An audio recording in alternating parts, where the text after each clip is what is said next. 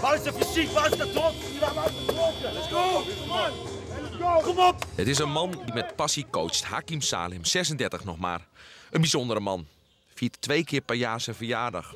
Want iedereen dacht dat hij doodgeboren was.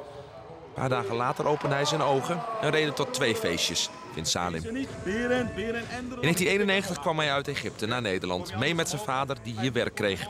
En nu is hij fulltime basketbalcoach. Moet snel. We gaan hier niet te veel tijd verspelen. Ik probeer altijd uh, mijn emotie erin te leggen en dat over te brengen bij het team. Uh, ik weet niet of het altijd werkt of niet, maar zo ben ik. En ja, uh, zo heb ik het al jaren gedaan.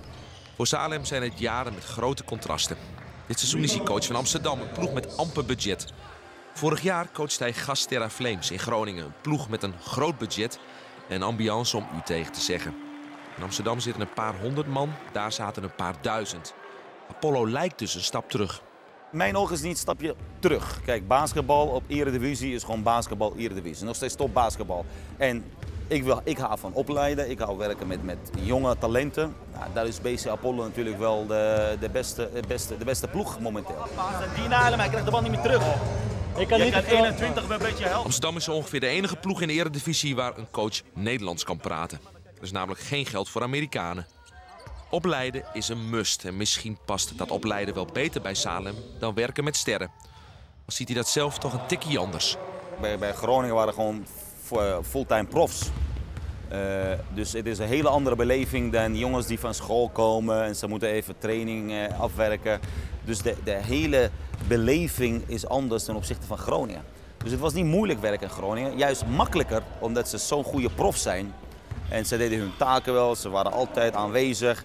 En een hele andere beleving. En, en in BC Apollo heb je toch te maken met semi-profs. Maar semi-profs winnen vaak minder wedstrijden dan full-profs, dat blijkt. Apollo, in het oranje spelend, verloor tot nu toe al haar wedstrijden. Ook donderdag in Rotterdam, tegen een ploeg die ook niet veel geld heeft. Heel veel van deze jongens hebben jarenlang op de bank gezeten bij een ander eredivisie-team en hebben gewoon niet gespeeld. Uh, dus ja, dan komen ze nu erin en dan wordt verwacht van ze om een hele andere rol te vervullen. Dus dat kost ook tijd. Dus het is niet 1, 2, 3. We gaan even op het veld staan en er komt een ervaren coach en we winnen even de eerste zeven wedstrijden.